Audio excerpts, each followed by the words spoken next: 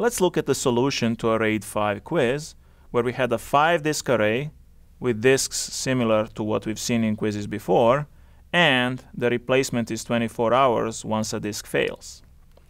The data capacity for RAID 5 is just like for RAID 4, 800 gigabytes. Effectively, we still sacrifice one disk worth of capacity to parity. It's just that this parity now is distributed among the five disks. The throughput for the five disk array, however, is much better than for a RAID 4. For reads, all of the disks now have equal amounts of data, so we can use all five of them when we want to read. For writes now, we distribute the parity accesses among all of the disks. So all of them can now support writes.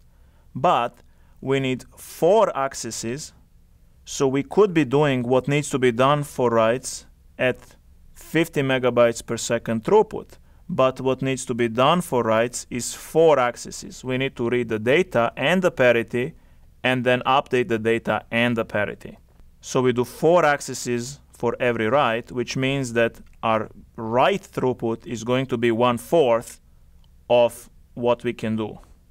Just like before, that means that for one fifth of a second we will be doing what reads need to do, and for the four fifths of a second we will be doing what writes need to do in order to achieve the same number of reads and writes, because reads take a quarter of the time that writes do. That means that in our one fifth of a second we will do 10 megabytes of reads, and then in the remaining 4 fifths of that second we will do 10 megabytes of writes. That way we achieve the same amount of reads and writes and the overall throughput is 20 megabytes per second. This is much better than in RAID 4. Finally, our MTTF here for RAID 5 is exactly the same as it was for RAID 4. It is the MTTF of one disk divided by 5. This is how long we have until one of the disks fails, times how many times can we attempt a repair until we finally experience a failure of one of the remaining four disks in this array. So this part here is really the expected lifetime of the four disks left to their own devices, and this is the MTTR. And what we get is the same number here as we did for RAID 4, which is 20,833,333 hours, which is more than 2,000 years again. So RAID 5 has the same data capacity and the MTTF as RAID 4, but has significantly better throughput.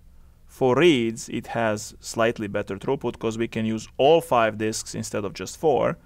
For writes, it has a lot better throughput. So that means that we never really want to use a RAID 4 array because we can move to a RAID 5 array without sacrificing data capacity, without sacrificing the MTTF, but with improving the throughput.